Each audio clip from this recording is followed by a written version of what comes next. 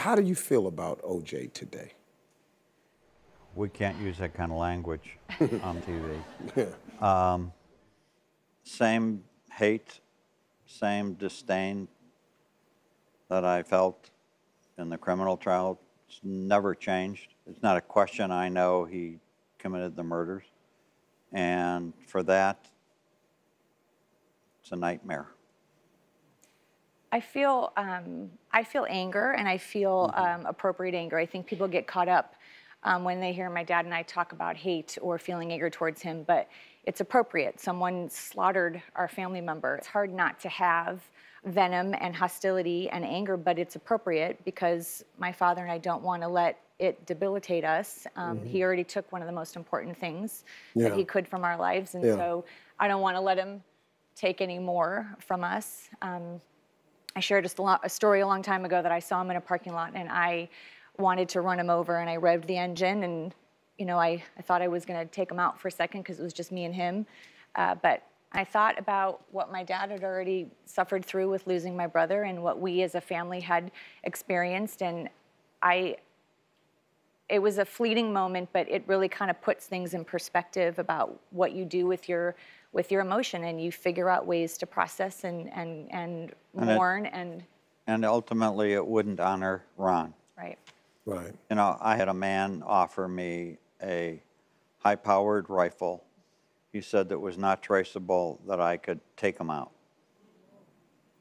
And I said, you're talking to the wrong guy. Just walk away. And, and then he said to me, uh, you know what, well, if you don't want to do it, I can find somebody for you that will.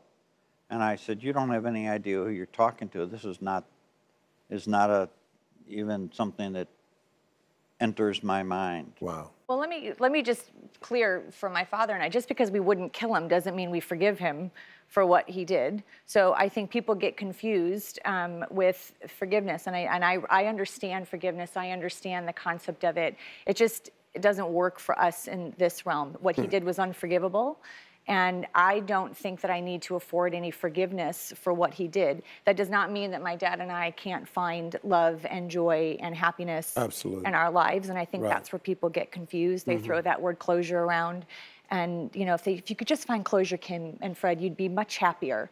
And we are dealing with this on an everyday basis because it's still everywhere 21 years later. And you know, it's hard to to move on and find closure when it's constantly around you. And we have to figure out ways to make room for it and Yeah. so that it doesn't. I mean, I have a young son. I need to be a good role model, and I need to make sure that Wow. I'm not living a life that is less than stellar and, like my dad said, honorable for my brothers. Hey, folks, welcome. Uh, thanks for checking out my YouTube channel. Don't forget to click here to subscribe to my channel.